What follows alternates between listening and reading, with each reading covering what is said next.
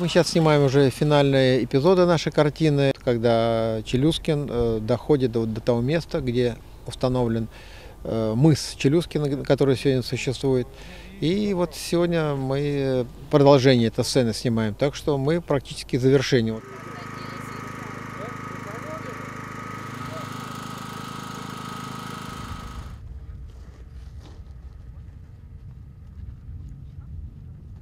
Этот исторический фильм, он говорит о людях, которые осваивали север, о том, что мы вместе осваивали этот север, об интересах друг к другу, о тех сложных э, событиях того периода, когда только героически, наверное, усилия человека могли преодолеть трудности природы, климата северного. У нас в этом году ровно 385 лет исполняется, как Якутия вошла в состав российского государства.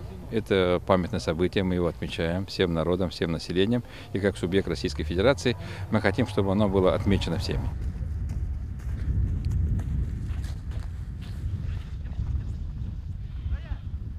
Так получилось, что мы э, здесь построили судно, которое вот вы рядом видите, судно э, Якутск, здесь э, на судостроительной верфи «Варяг». Э, очень качественное судно, все дают э, высокие оценки качеству этого судна. Э, и э, территориально нам очень удобно здесь. Почему? Потому что даже когда наши э, коллеги из Якутии приезжают, они говорят, практически вот э, озеро э, и вот э, места, где мы снимаем, они практически очень похожи, напоминают Якутию.